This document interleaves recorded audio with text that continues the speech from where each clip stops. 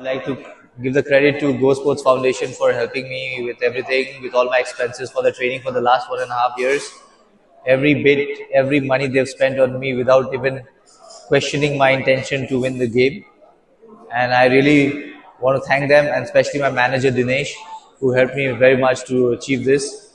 And of course, I'm happy that I could win a medal for my country, which is a very proud moment and back-to-back medal. So I think it is a very happy moment for me. What is your message for aspiring players? Pardon? What is your message for aspiring players who are, who are very motivated after your Uh, I think if you enjoy the game, it will be much better and much more fun. Don't take it so much intensely.